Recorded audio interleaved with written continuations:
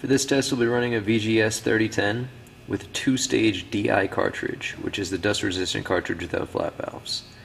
Uh, we'll also be using a FOB 30 by 60 oval cup. It's the food grade blue silicone cup.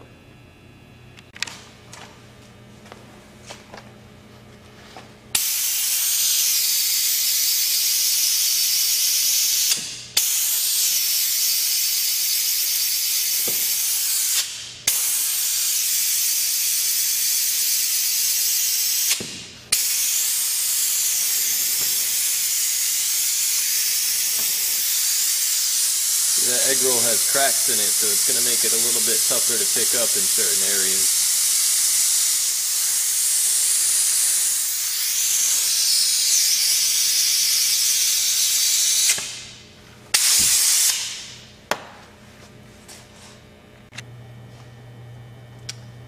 And just to give you guys an idea of what kind of vacuum level we're reading, we've attached a gauge to the vacuum generator here.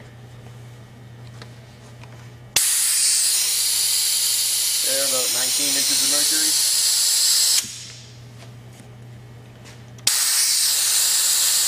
There, 13, 14 inches of mercury. You'll see that's with picking the egg roll up on the crack.